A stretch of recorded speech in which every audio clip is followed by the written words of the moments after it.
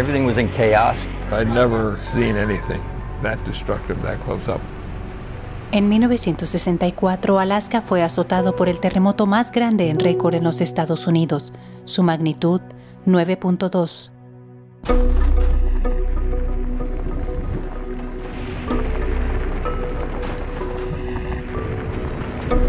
El temblor duró más de cuatro minutos.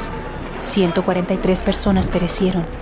Se estima que la pérdida total en dólares actuales alcanzó los 2.3 billones. Grandes fracturas, deslizamientos masivos de tierra y la destrucción de cañerías de agua, gas, alcantarillado y de sistemas eléctricos y telefónicos. El epicentro fue en Prince William Sound, 74 millas al sureste de Anchorage. Aún así, los efectos se podían observar en lugares tan lejanos como Texas y Luisiana. Lo que el gran terremoto de Alaska de 1964 le enseñó a los científicos fue profundo y de mucha trascendencia. En un principio nadie entendió cómo o por qué ocurrió este terremoto. Inmediatamente tres científicos del US Geological Survey fueron enviados al lugar para investigar. The main airport, the Anchorage International, was closed down because the control tower had collapsed and killed the operator. And then we went out separately, mostly separately, to look at different things so we could cover three times. Los científicos estudiaron los efectos del terremoto desde el aire, en terreno y a lo largo de las costas. Quedaron asombrados al descubrir que la superficie alterada fue más extensa que California, 185 mil millas cuadradas. Algunas áreas se hundieron hasta 8 pies, mientras que otras se elevaron hasta alcanzar los 38 pies. Crustáceos que se encontraban a dos pies debajo de la superficie subieron repentinamente varios pies sobre su nivel. Datos cartográficos de estas variaciones de terreno fueron cruciales para entender lo que pasó. Sin embargo, al no haber fallas visibles en la superficie para explicarlo, incluso después de meses de cuidadosa observación y trabajo en terreno, la causa seguía siendo un misterio. The surface of the Earth is broken up into roughly a dozen different plates and that they move around with, the, with respect to each other. It occurred right at the time where this idea was being put forth. Uno de los científicos, el geólogo George Plafker, consideró este terremoto basado en esta nueva teoría de placas tectónicas. Él sabía que Nueva Corteza se forma en serranías en medio del océano, pero no existía una explicación clara de hacia dónde esta corteza se dirigía. And so the most likely one that came to mind is that the oceanic crust is being pushed underneath that part of southern Alaska at a very low angle and there was slip on this on the interface between the oceanic crust and the overlying continental crust. Estas dos cortezas convergen a razón de una pulgada y media cada año. El desplazamiento periódico entre las cortezas produce grandes terremotos, a los cuales Plafker llamó megaterremotos. Su descubrimiento cambió nuestra manera de entender estos grandes terremotos. Los megaterremotos son los más grandes que se conocen en el planeta Tierra. Estos ocurren en áreas donde las cortezas chocan y descienden, las cuales hoy en día llamamos zonas de subducción. La elevación y descenso de vastas áreas causadas por estos terremotos son el resultado de años de compresión de estas placas convergentes.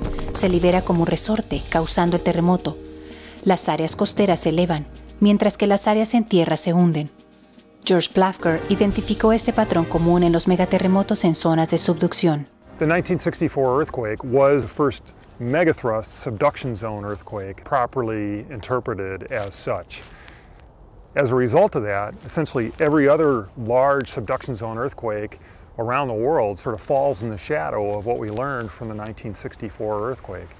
Luego se formuló la siguiente pregunta.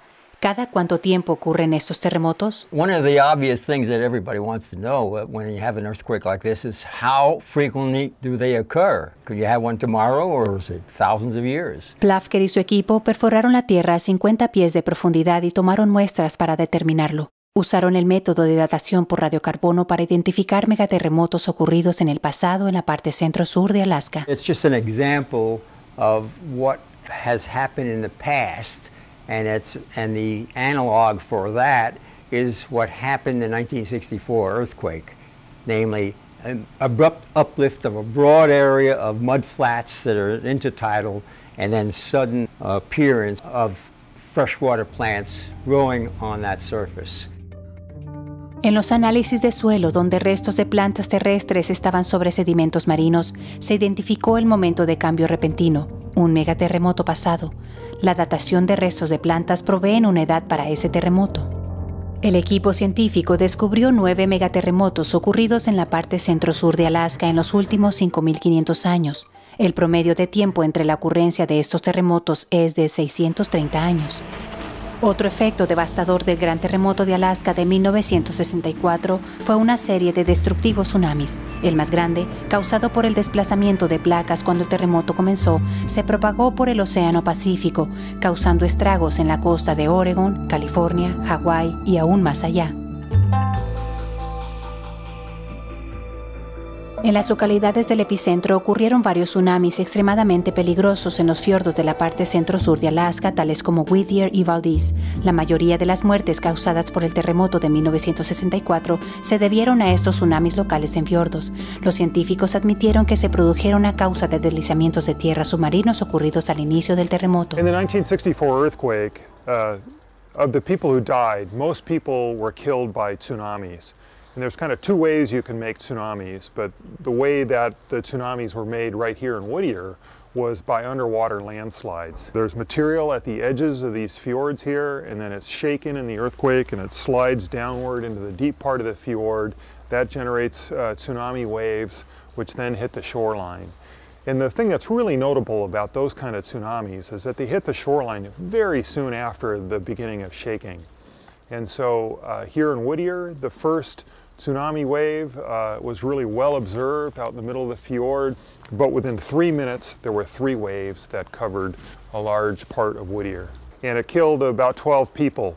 There was a lumber mill located about where that hotel is in the background there. There were 13 deaths in Whittier and 12 of them were over there.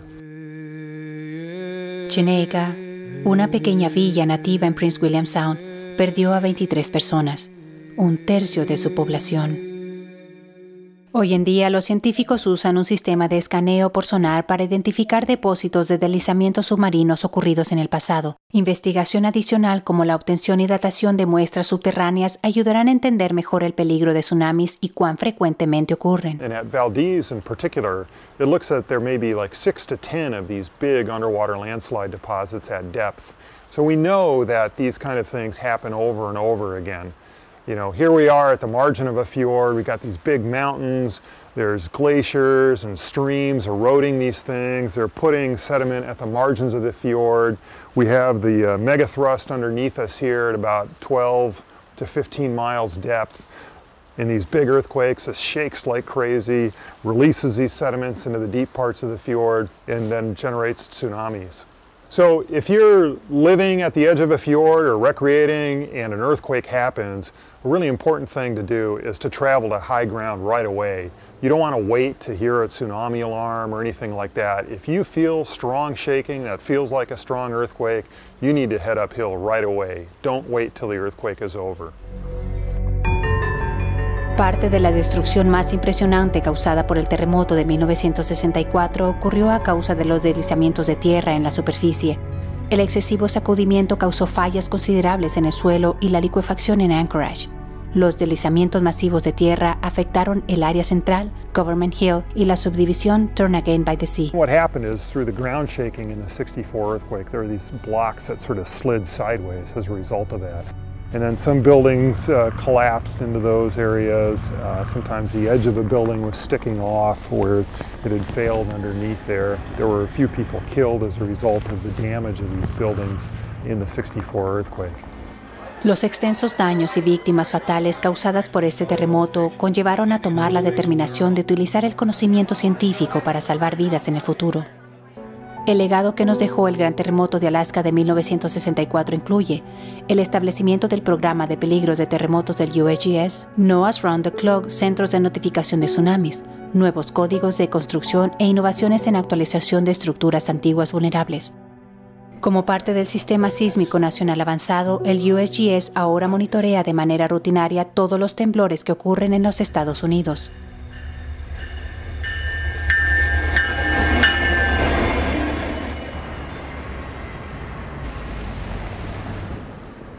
South Central Alaska here is the infrastructure center of the state and it's also by far the largest population center of the state.